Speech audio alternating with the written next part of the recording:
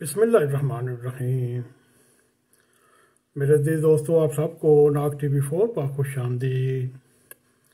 میرے عزیز دوستو آسان فرموش کا نیا شکار کے دوسرے حصے کے ساتھ ہم پھر آج آپ کے سامنے حاضر ہیں۔ اس میں جو محسن کاش سان فرموش کا جو نیا شکار جدہ دور میں وہ شباز گل المشہور رندہ صاحب کا ذکر خیر ہو رہا تھا اور یوں شباز گل بھی عمران خان کی حکمت عملی کا ایک شکار ہو گیا جرسوں T V talk shows press conference کے درمیان پی ٹی آئی اور عمران خان کے سیاسی محالفین کے بارے میں جو یہ صاحب گفتگو کرتے رہے۔ آپ سب بھی جانتے ہیں ان کی گفتگو کا کیا معیار تھا اور کیسا تھا۔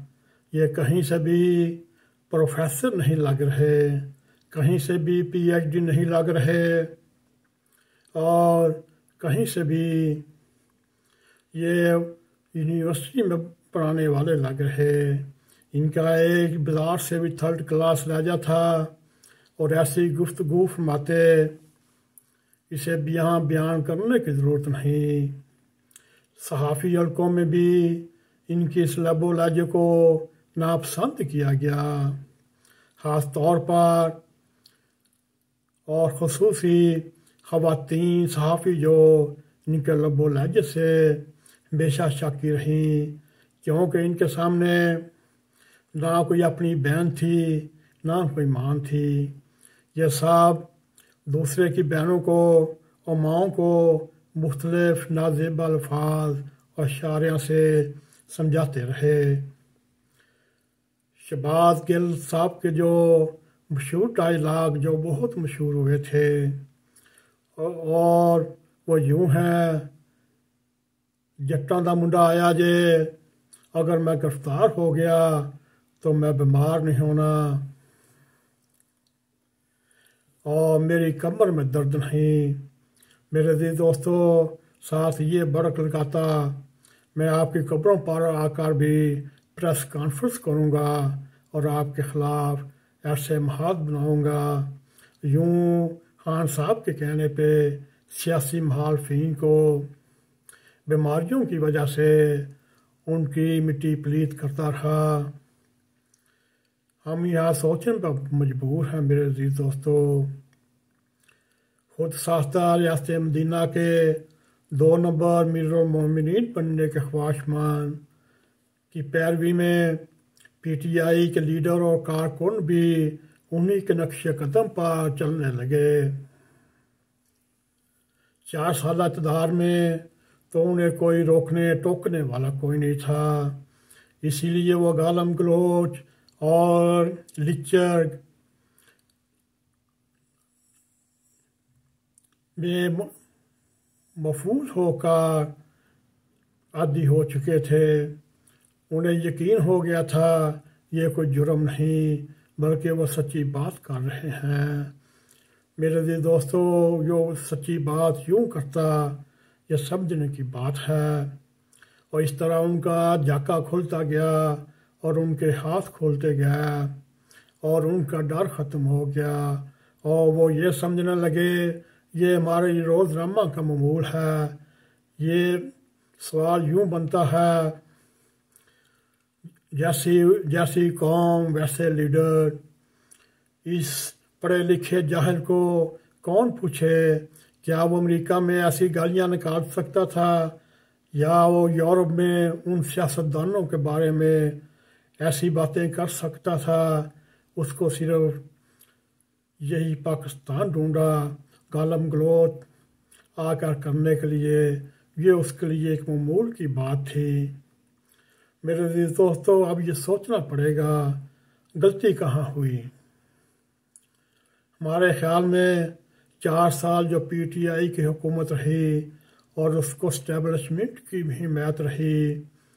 شباز گل سمیت تمام لیڈران کا ہدف جو بنے، وہ اپوزیشن محالفین کی جو پسند نہیں تھے، جو پہلے ہی زیر اطاعت تھے، وہ جواب دے نہیں سکتے تھے۔ کیونکہ ان میں بھی کچھ خلاقیات پائی جاتی تھیں۔ لیکن جو ہی عمران خان یا سان فرموش کی حکومت ختم ہوئی، اس کے بعد حالات تبدیل ہو گیا مگر پی ٹی آئی قیادت اور کارکن یہ سمجھ ہی نہ سکے کہ اسٹیبلشمنٹ کی جو چھتری ان کے اوپر تھی، وہ لپیٹ دی گئی۔ اب وہ ننگے سر ہیں، اس لیے ان کو جواب بھی مل سکتا ہے۔ قانون بھی حرکت میں آ سکتا ہے۔ اور آج آج کل جو ہو رہا ہے، وہ پی ٹی آئی نے کبھی سوچا نہیں تھا۔ آج پی ٹی آئی کے جو لوگ قانون اور پولیس کے ہاتھ میں ہیں، پی ٹی آئی کے لیڈران بیمار سان فرموش عمران خان نے خود ہی بم کو لاتیں مار مار کر چلایا۔ یہ کسی سیاسی جماعت اور شخصیت پر تنقید کرنے کی بھی میرے دوستوں ایک حد ہوتی ہے۔ ریاستی داروں پر آپ تنقید کر سکتے ہیں، لیکن وہ بھی اپنی حدود میں رہ کر۔ اسی طرح ریاست اور معاشرت کے بھی کچھ احساسات ہوتے ہیں اور انہیں چھیڑے بغیر بھی آپ دوسرے الفاظ سے بلا سکتے ہیں۔ مگر چھیڑنے سے پہلے ان کا مختلف زبانوں سے، مختلف شعروں سے، مختلف کنائیوں سے چھیڑنے سے پہلے اس کے نتائج کا بھی اندازہ لگانا لگانا ضروری ہوتا ہے۔ میرے دوستو، یہی ایک زیر مدبر سیاستدان کی نشانی ہوتی ہے۔ یہ کہنا درست نہیں۔ عمران ہاں اور پی ٹی آئی مقافات عمل کا شکار ہوئی۔ میرے عزیز دوستو، یہ انہوں نے اپنے دورے، دور اقتدار میں جو فصل بوئی تھی، وہ آج کاٹ رہے ہیں۔ شباز گل کا ضلع گلا نواز شریف گروپ سے ہو سکتا ہے۔ پیپلز پارٹی اور اتحادی گروپ سے ہو سکتا ہے۔ مگر سب سے زیادہ اس کا گلا اپنی پارٹی اور سان خاموش کی خاموشی سے ہے۔ اس مشکل وقت میں طریقے انصاف کی قیادت۔ اس کے ساتھ کوئی بھی نہیں کھڑا، نہ کوئی کارکن، نہ کوئی لیڈر۔ کیونکہ یہ تأثر عام پایا جاتا ہے کہ آسان فرموش، پی ٹی آئی کے سربراہ نے بھی آنکھیں پھیر لیں۔ اور عمران خان کے لیے شباز گل المشہور رندہ صاحب کی سیاسی ضرورت ختم ہو گئی۔ آج اس کی جگہ نئے لوگ آ گئے جو زباں پارک کے دل و جہاں میں رہتے ہیں اور خان صاحب کی حفاظت پائے بیٹھے ہوئے ہیں۔ میرے دوستو، عمران خان المشہور آسان فرموش نے کئی لوگوں کو استعمال کر کے ایسے پھینک دیا جیسے کوئی ٹیشو پیپر استعمال کر کے پھینکتے ہیں اور جن پر کرپشن کا الزام لگائے، انہیں بھی پارٹی سے فارغ کر دیا۔ لسٹ بہت میرے دی دوستوں لمبی ہے، مگر بیچارے شباد گل المشور رندہ صاحب، بیچارے کو اب کیا سا، ساس ہوا، ابھی ساس ہونا باقی ہے۔ کہ آسان فرموش نے اس کے ساتھ کیا کیا۔ میرے دوستو، یہ فکر انگیز بات ہے۔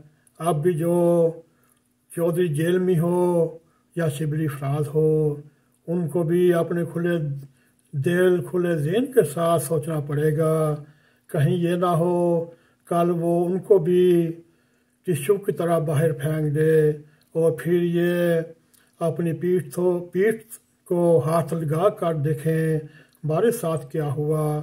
میرے دوستو، اگر آپ کو ہمارا یہ پروگرام پسند آئے، اس کو لائک بھی کریں، اس کو شیئر بھی کریں، کمنٹ سیکشن میں جا کر اپنا زار خیال کرتے ہوئے ناک ٹی وی فور کو سبسکرائب کریں، جاتے جاتے بیل آئیکن کو کلک کریں تاکہ ہماری تازہ تازہ ویڈیو آپ تک پہنچتی رہیں۔ اسی کے ساتھ ہمیں اجازت دیں۔ السلام علیکم ورحمۃ اللہ وبرکاتہ۔